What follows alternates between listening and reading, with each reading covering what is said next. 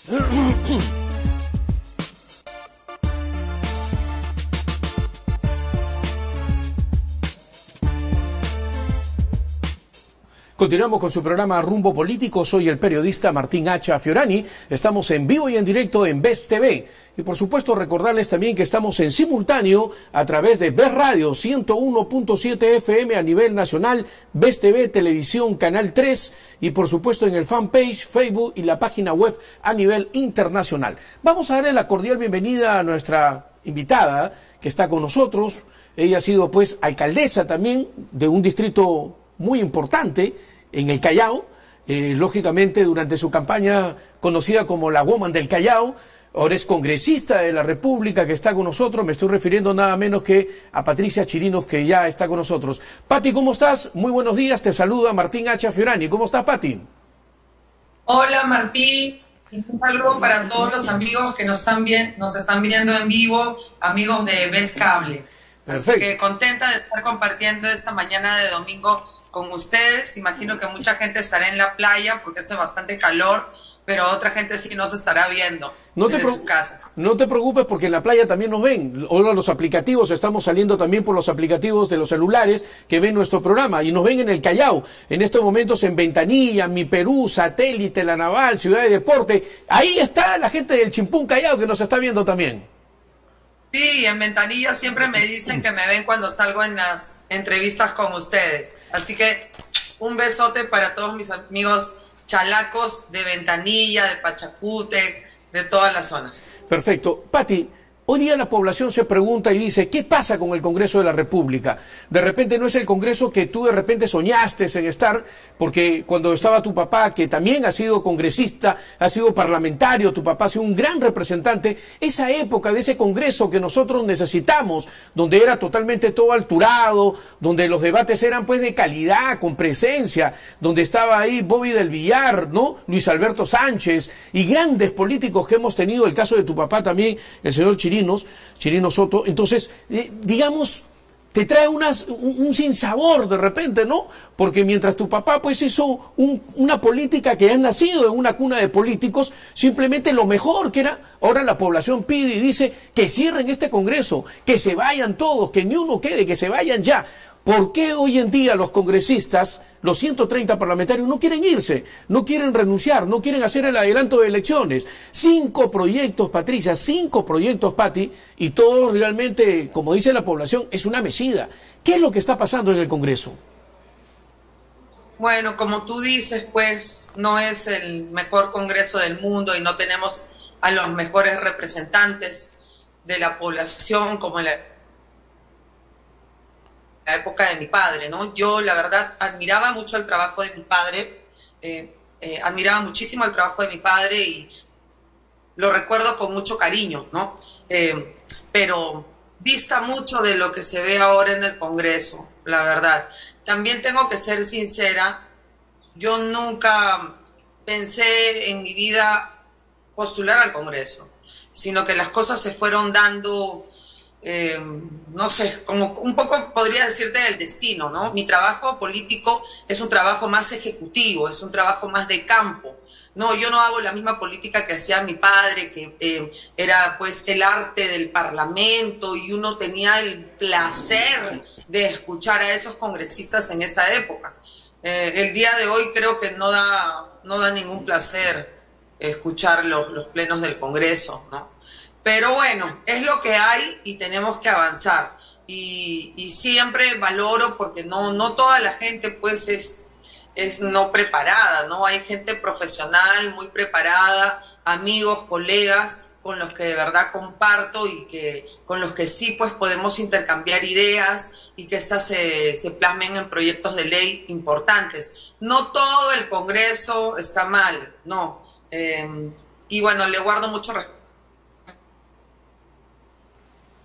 vamos a recuperar este respeto a esta institución. No creo que, perdón, de Castillo, creo que el Congreso jugó un rol muy importante y ahí hubimos congresistas que de verdad hemos defendido la democracia, incluso con el propio costo de... Vamos a recuperar la, la comunicación. A ver, tenemos sí. de la salud, ¿no? Porque sí, acabamos de Sí, efectivamente, efectivamente lo que nos hablas, todo eso que es importante. Y, me, trae a colación cuando hablas que más está dedicada a lo que es el trabajo de campo, ¿no? Porque es lo que te caracteriza realmente siempre a Patricia Chirinos. ¿Cómo van el tema de las ollitas? Las ollitas eh, comunes, las ollitas solidarias también, ¿cómo van? Ay, bueno, las ollas están sufriendo bastante en este momento por el alza de los precios en el mercado eh, en estos días eh, que se cortaron las carreteras, hasta hace pocos días, eh, que había problemas para que vengan las frutas, las verduras a Lima, pues podíamos ver el precio de un kilo de alberjitas en 12 soles, algo que jamás habíamos pensado. la papa amarilla, 11 soles. Entonces, eh, es una cosa bastante preocupante porque eh, ese dicho que una papa más al caldo y, y, más, eso es mentira, porque vemos mucha desnutrición infantil y después nos quejamos que por qué tenemos esos políticos, que por qué el país no prospera y es porque no estamos dando una buena alimentación a las criaturas. Entonces, ¿cómo ese cerebro se va a terminar de formar? Ya tenemos una mala o pésima educación, un mal sistema de salud, pero encima con las criaturas que no se alimentan en etapa de formación, ¿qué podemos esperar de esos adultos? ¿no? Entonces ahí es donde tenemos que trabajar más. Por eso mi trabajo, como yo te decía, yo, yo me considero mucho más ejecutiva y estoy tratando, eh, a pesar que el Congreso es para legislar, pues de hacer un trabajo mucho más rápido. Es por eso que, si te das cuenta, yo he hecho muchas denuncias constitucionales creo que hasta el momento voy haciendo 14 o 15 denuncias constitucionales. La última que he hecho es a Bermejo, ¿no? Por asusador a la violencia eh, de la población. También de la misma manera a Sigrid Bazán. yo creo que son eh, denuncias que van van a prosperar, eh, definitivamente. en eso, Pati, cuando hablamos de Sigrid Bazán y también de Bermejo, lógicamente estás pidiendo en esa denuncia constitucional 10 años de inhabilitación para Sigrid Bazán. 10 años que sea inhabilitada inmediatamente. Bueno, es lo que debería pasar. Nadie le ha dicho. Vamos a recuperar, a ver, el tema del Internet. A la señorita, oye, ven, asúsame. No, ella decidió.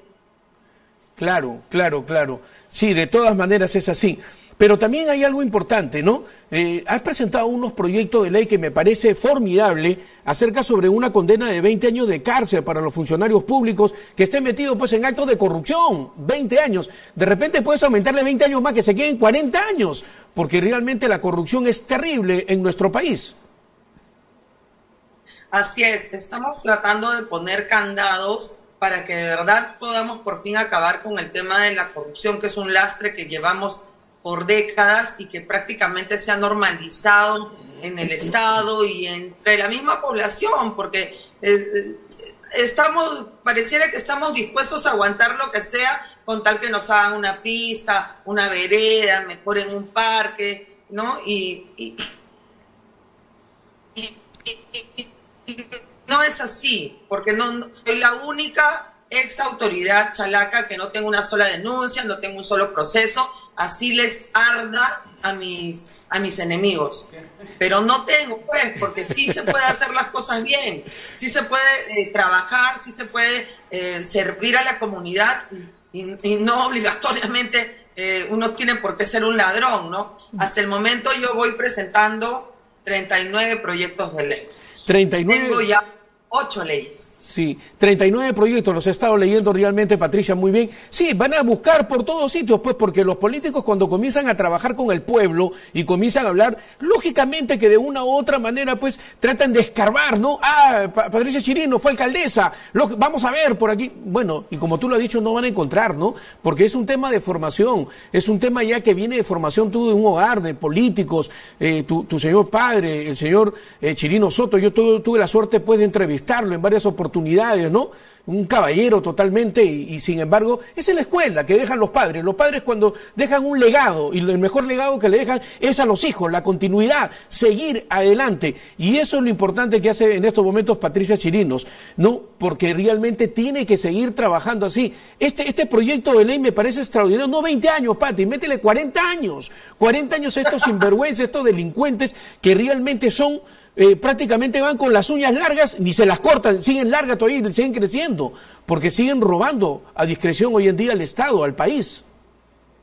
Y también tengo otro proyecto de ley que ya está en la comisión para que todas las personas que hayan em, pagado por un delito de corrupción ya no puedan volver a trabajar en el Estado. Así que no te preocupes, van a salir de allí, pero ya no van a poder trabajar en el Estado. Ah, Eso ah. va, va de mano también. Ah, hablando de trabajar, ¿cómo es que el Congreso de la República pretende hoy en día sacar una ley que dice que ahora a los 75 años se van a jubilar? Entonces, si teniendo, si hacemos una línea de tiempo hoy en día, simplemente eh, las personas viven solamente hasta los 80 años, 84 máximo 85. Entonces, jubilarse hasta a los 75 es un proyecto que, se ha presentado y que va a ser debatido, lógicamente. Ya no sería pues a los 65. No ha caído muy bien esto, ¿ah? Sí, ha tenido bastantes críticas, pero también he conversado con bastante población eh, mayor y de verdad, pues a veces el dejar de trabajar es como una muerte lenta, ¿no? Siempre hemos escuchado coloquialmente que dicen, ya, dejó de trabajar y se murió. Porque la gente está acostumbrada a trabajar, necesita su plata en el bolsillo. Las pensiones que ganan esta gente mayor después de haber trabajado toda su vida, de verdad, son paupérrimas. No alcanzan para nada. Muchas veces cobran una pensión de 400 soles y con eso tienen que vivir todo un mes.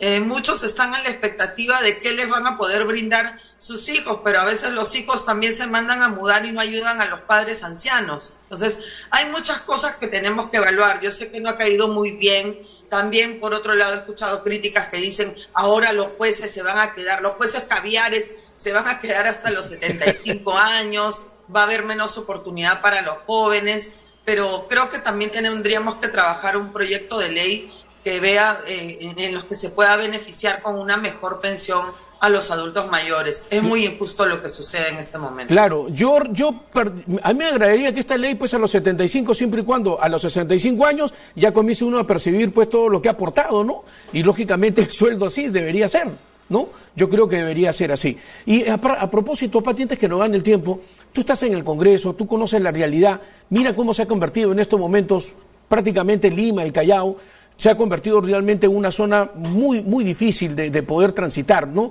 Ya no podemos salir a la calle porque la delincuencia eh, prácticamente está ganando muchísimo terreno. El sicariato, ni hablar, todos los días hay muertes aquí en Lima y en el interior también del país. Las violaciones continúan en estos momentos, las agresiones también a la mujer. ¿Qué podemos hacer? ¿Por qué el Congreso de la República no pone leyes duras, una mano dura hacia la delincuencia. Debería existir pues penas, por ejemplo, eh, la cadena perpetua, toda aquel persona que está metido en acto de sicariato. No, las penas son muy, muy, muy, rápidas. El, policía se mata en capturar a toda una banda y en menos de 24 horas el fiscal los está liberando inmediatamente, ¿no? ¿Qué es lo que pasa realmente? Tienes razón, eh, en ese sentido sí aún no he hecho ningún proyecto de ley ya que estamos hablando de ese tema, me comprometo a que la próxima entrevista ya tener avanzado un proyecto de ley en ese sentido.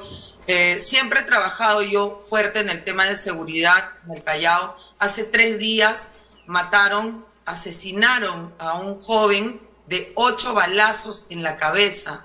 El joven era hijo de una gran amiga, Liliana, que trabajaba para mí, eh, era la cocinera del, del comedor popular en La Perla el, comedor que yo tenía en la Perla. Y la verdad es una gran pena que, estén, que se estén matando entre jóvenes chalacos. Ese asesinato de toda una familia que pasó en San Miguel, también eh, los, los asesinos eran del Callao. Entonces, no podemos tapar el sol con un dedo, se necesita. Se necesita pues una mano dura, mano dura. Quitan eh, penas más drásticas para es una buena idea. Perfecto. De verdad que sí. Bueno, en el Congreso eso nos falta conversar bastante. El año pasado este tema era complicadísimo, llegar a consensos. ¿Por qué? Porque había muchos cómplices de Castillo a los cuales yo denuncié y he dado todo el tiempo nombres y apellidos directamente. Pero creo que estamos ahora en otra etapa en la que izquierda, derecha y centro tenemos que conversar todo el tiempo. Y eso ya se está empezando a dar con bastante fluidez dentro del Congreso. Yo misma hablo con eh, colegas de izquierda, incluso radical. Claro, con Bermejo jamás, ni con Siri tampoco voy a llegar a ningún punto ¿no? de, comunión, pero con el resto sí. Entonces, eso ya ha empezado a darse. Por eso también, eh, bueno, el adelanto de elecciones que comentaste, ¿no? Eh, es una pena, pues, que se haya malogrado el tema, porque ya habíamos tenido una primera votación con 94 votos para el adelanto de elecciones en 2024 con reformas responsables y Fuerza Popular eh, de un momento a otro y deliberadamente pues soltó esta nueva, nueva propuesta, malográndose todo el trabajo que ya se había iniciado. Esa es la verdad. Ay, nano, nano, nano, nano, nano, nano, nano, guerra. bueno, tenemos que ir finalizando, Patricia, esta entrevista. Muchísimas gracias. Solamente decirte que en mi Perú, en estos momentos, te manda el saludo la señora Marta del Comedor Popular también, te están viendo, y dice que muy bien la iniciativa que nace aquí en el programa de BES TV, lógicamente en rumbo político, que vas a hacer el proyecto de ley, el proyecto de ley y que sería cadena perpetua realmente para los sicarios. Bueno, Pati, muchísimas gracias. Muy, pero muy buenos días. Gracias Martín, señora Marta y todas mis amigas. Un besote y fuerza. Sigamos luchando. Gracias. Aquí nuestro productor general, el señor Aquiles Guerrero, dice, la woman del Callao, realmente, ¿no? el señor Aquiles Guerrero. Bueno, nos vamos a una breve pausa comercial y nosotros retornamos con rumbo político. Ya volvemos.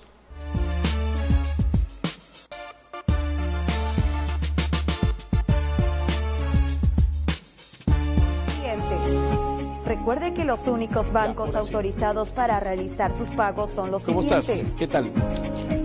¿Cómo está Víctor Raúl? BCP, con el código 18190. BBVA, con el código 4160. O vía banca por internet, como entidad BES Cable Perú SAC. ¿Se inscribió ya el APRA? ¿Va a participar en elecciones? BES Cable, para todos. En Vez Cable, el fútbol es para todos.